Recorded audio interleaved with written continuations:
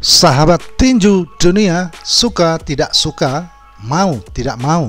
Nama Teresi Bat Crawford saat ini merupakan salah satu petinju terbaik sekalipun profesionalnya. Ia merupakan juara yang tak terbantahkan di tiga divisi. Dan terakhir, dia memutuskan naik ke menengah ringan melawan Ismail Madrimov, kemudian menang angka dengan hasil perabot sabuk WBA di kelas itu.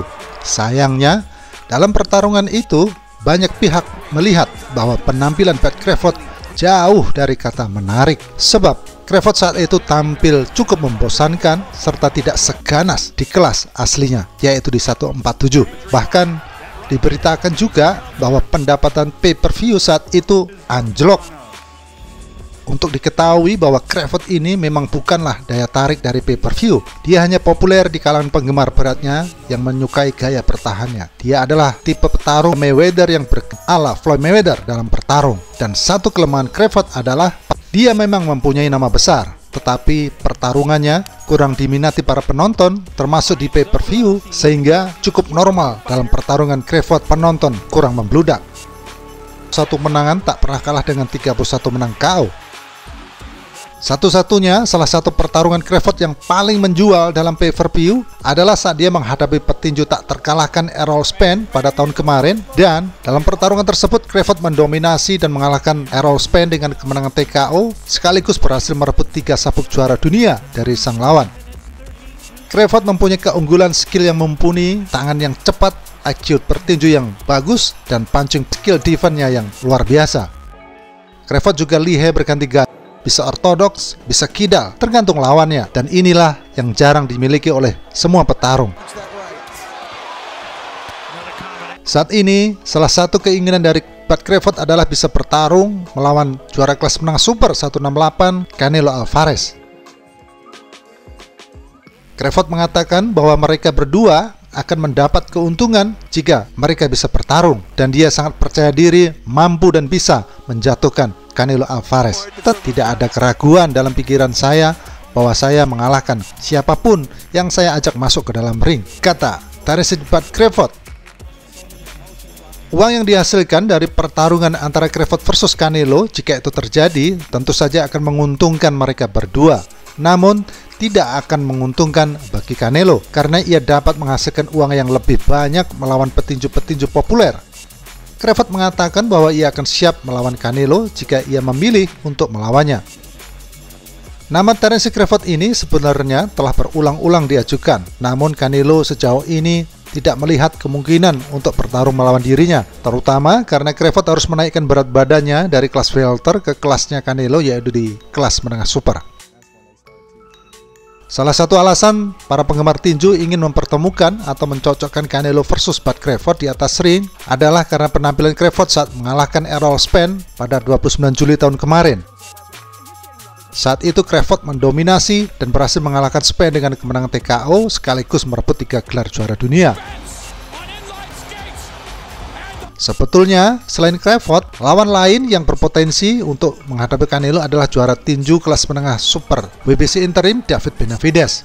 Nama ini dianggap sangat layak menghadapi Canelo karena merupakan salah satunya petarung yang belum terkalahkan dan berada di kelas yang sama dengan Canelo. Sejauh ini Benavides telah melewati 28 pertarungannya dengan 24 dimenangkan dengan KO. Terence Bud Crawford nampaknya harus mengambil alternatif lain atau rencana cadangan untuk melanjutkan karirnya ke depan setelah dia berhasil merebut kelas welter WBA dengan kemenangan angka atas Matrimov. Crawford naik ke kelas welter super tak lain dan tak bukan dengan harapan bisa terus mendekati Canelo Alvarez yaitu di kelas menengah super atau dua kelas di atasnya saat ini. Namun, Canelo tampaknya tetap tidak tertarik untuk bertarung melawannya kecuali Canelo mendapatkan bayaran yang tak kurang dari 150 juta dolar atau sekitar 2,3 triliun rupiah. Bahkan, dalam konferensi pers pasca pertarungan melawan Edgar Berlangga kemarin, Canelo menjawab pertanyaan soal kemungkinan duel dengan Bud Crawford dengan jawaban tidak berkomentar. Canelo kelihatannya tidak ingin berande-ande atau memberikan harapan besar kepada Crawford untuk Pat Crawford sendiri nampaknya kurang tertarik mencetak legasi dengan menjadi juara tak terbantahkan di tiga kelas berbeda setelah welter ringan dan welter. Padahal cukup bagi dirinya untuk melakukan dua pertarungan untuk menjadi juara tak terbantahkan di kelas itu. Di kelas ini ada Sebastian Fundora sebagai juara WBC dan WBO. Berikutnya ada Bahram Murtazalif di IBF dan duel-duel itu tentu saja tidak menjanjikan bayaran yang besar bagi Crawford sebagai simpanan amannya untuk menjalani pensiun dikarenakan usianya yang sudah semakin menua. Pilihan Buck Crawford yang juga bisa dibilang masuk akal adalah melawan dengan petinju tak terkalahkan Jaron Ennis di kelas welter IBF yang juga sangat ingin beradu jotos dengan Crawford.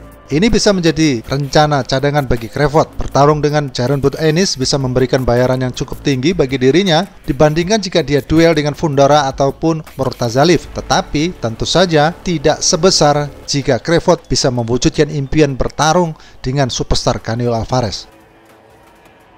Jika saja Turkir Al-Alsik bisa memenuhi kemauan Canelo, yaitu dengan bayaran 150 juta dolar, bayaran bagi Crawford pun dipastikan tidak akan sebesar itu, meskipun pastinya tidak akan melebihi angka 50 juta dolar. Angka yang bisa diberikan kepada dirinya berkisar antara 20 hingga 30 jutaan dolar. Sekaligus bisa dikatakan menjadi bayaran termahal bagi Crawford. Sementara bagi Canelo, tentu saja tidak ada untungnya bertarung melawan Crawford. Bayangkan, jika dia menang, tentu orang akan bilang bahwa dia menang dengan petinju yang posturnya lebih kecil. Dan sebaliknya, tentu saja juga akan sangat memalukan jika ternyata Canelo kalah karena itu, segala resiko tersebut bagi Canelo akan dianggap setimpal jika dia meminta bayaran besar sekitar 150 juta dolar. Secara fisik, Terence Crawford terlalu kecil bagi Canelo Alvarez. Apalagi jika kalah, sekali lagi Canelo akan menuai malu besar karena reputasinya akan benar-benar tercoreng. Jika pertarungan itu diwujudkan, kemungkinan Crawford akan diprediksi mengikuti cetak biru yang telah pernah dibuat oleh Mayweather ataupun Dimitri Bivol tentang cara mengalahkan Canelo. Jika Crawford menang dalam pertarungan, kemungkinan dia akan melakukan pukulan jab, melemparan pukulan 1-2, bertahan, lalu ia memukul, berlari, dan menahan Canelo sepanjang pertarungan. Sangat membosankan untuk dilihat. Crawford tidak akan mengalahkan Canelo karena ia bahkan tidak bisa mengalahkan Madrimov dengan meyakinkan pada bulan Agustus kemarin. Jadi daripada terus-terusan memohon kepada Canelo, Crawford setidaknya dan kelihatannya perlu memberi Israel Madrimov pertarungan ulang karena masih banyak pertanyaan tentang siapa sebenarnya yang benar-benar pantas menang dalam pertarungan kemarin itu. Sahabat tinju dunia, apakah Crawford akan mengincar Canelo? Kecil kemungkinan jika itu untuk merebut gelar. Yang pasti dia ingin mendapatkan bayaran yang besar. Daya tarik Canelo masih terlalu kuat bagi petinju-petinju papan atas di kelas mana pun. Setiap Canelo naik ke atas ring, ia tahu bahwa ia harus memberikan pertunjukan istimewa bagi para penggemarnya. Ia tampil dengan penuh semangat, menggoyangkan para penonton dengan pukulan-pukulan yang kuat dan memberi mereka sedikit bumbu ejekan. Berdasarkan rumor dan spekulasi yang beredar bahwa pendapatan terakhir Canelo saat melawan Berlangga kemarin mencapai 750 ribu pay-per-view terjual dan pendapatannya sekitar 22 juta dolar. Acara ini merupakan salah satu acara terbesar dalam sejarah tinju saat ini dan menjadikannya salah satu acara terbesar Canelo dalam karirnya. Tidak diragukan lagi bahwa Canelo adalah bintang terbesar dalam olahraga tinju.